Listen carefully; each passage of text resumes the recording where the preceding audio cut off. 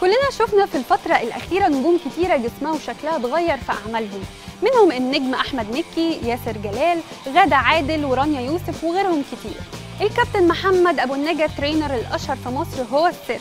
تعالوا نعرف منه أكتر وكمان نعرف كواليسه مع الفنانين اللي بيدربهم.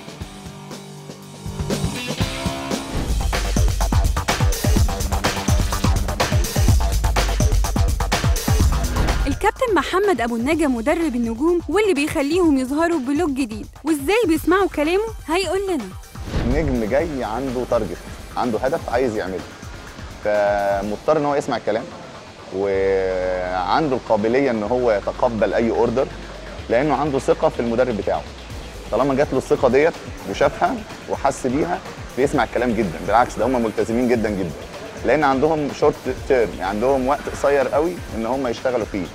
علشان يجيبوا نتيجة يا إما داخل مسلسل يا إما داخل فيلم. عنده عمل فني لازم يعمله بالشكل اللي هو لازم يدخل بيه.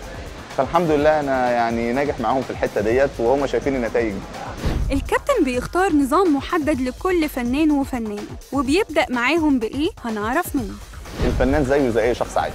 هي موضوع تدريب أكنك داخل معسكر تدريبي تمام. ما فيهوش أي خلاف.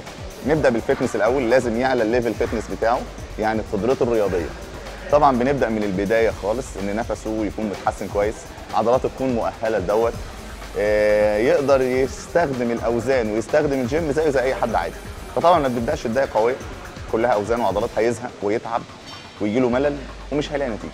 بنبدأ بداية gradual واحدة واحدة كده بنشتغل هو بيلاقي نتيجة ويلاقي الموضوع سهل فبيحبه فبيكمل. نجوم كتير ما كانتش بتحب الرياضة وبعد كده حالهم اتغير. هم مين وإيه حكاية النجم أحمد السقا؟ تعالوا نعرف. في كتير منهم جايين مش حابين الرياضة.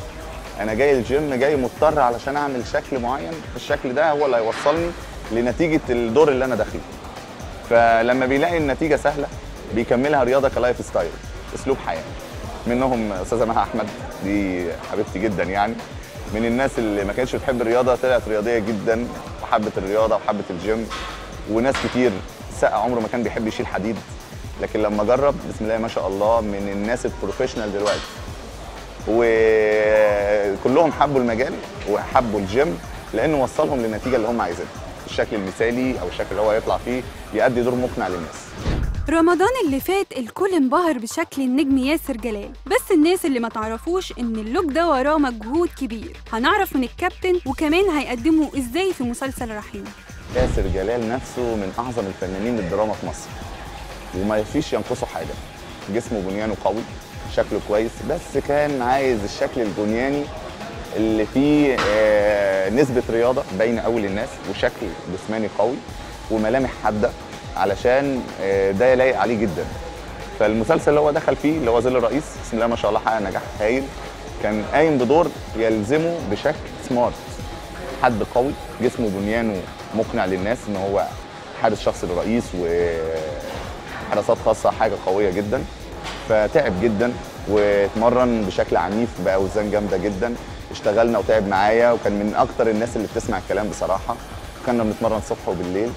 واختفينا تماما على الأنظار لمدة ثلاث شهور أو أربع شهور تقريبا. وطلع باللوك الجديد ده. واللوك الجديد اللي هو في مسلسل رحيم إن شاء الله أقوى وأكتر آه، تألق في حتة الشكل الرياضي. لأنه الدور ملزم عليه إن هو يكون بنيانه قوي قوي فهو بنيانه قوي مقنع للجمهور شكله هايل تعب على دوت. تعالوا نعرف المفاجأة اللي محضرها الكابتن أبو النجا مع النجم محمد إمام في شهر رمضان. المفاجأة الكبيرة للناس كلها إن شاء الله ال season الجاي في الفيلم بتاعه آه، الفنان محمد إمام. هيطلع بشكل هايل تقريبا فان دام. شكل مقنع جدا للناس عضلات هايلة.